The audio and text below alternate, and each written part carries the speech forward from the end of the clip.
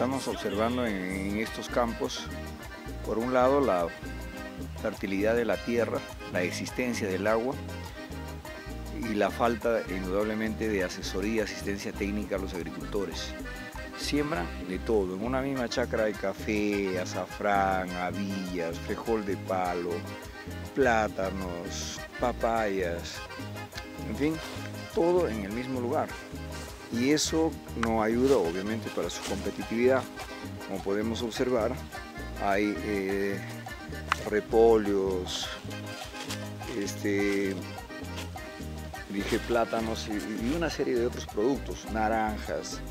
En consecuencia, es importante acercar la asesoría técnica para una producción competitiva, no solamente para alcanzar un mayor volumen por producto, sino darle mayor ventaja para sus precios en el mercado. Eh, como vemos aquí hay yucas, eh, estamos observando la yuca, eh, luego estamos al costado, estamos observando frijol de palo, al costado estamos observando col, correcto, seguido estamos observando una planta de café. Y sucesivamente seguimos evaluando y encontramos frijol que en algunos lugares le llaman avilla.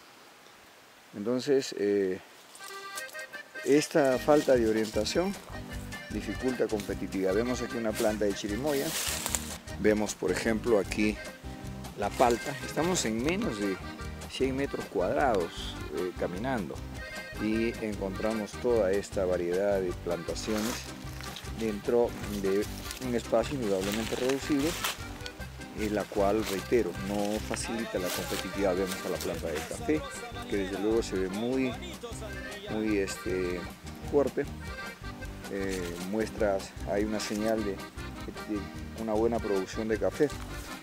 Avanzamos unos metros más y encontramos camote. Estas hojas anchas pertenecen a la planta de camote. Momento he contado más de 10 tipos de productos en menos de un área de 100 metros eh, cuadrados. En eh, mejorar esta situación, la presencia de Compime Internacional desde luego está facilitando información, facilitando asistencia en algunas medidas referido a la gestión y estamos trabajando para incorporar la asistencia técnica y desde luego acompañar ante las autoridades, en este caso de los gobiernos regionales, los gobiernos locales y el gobierno central.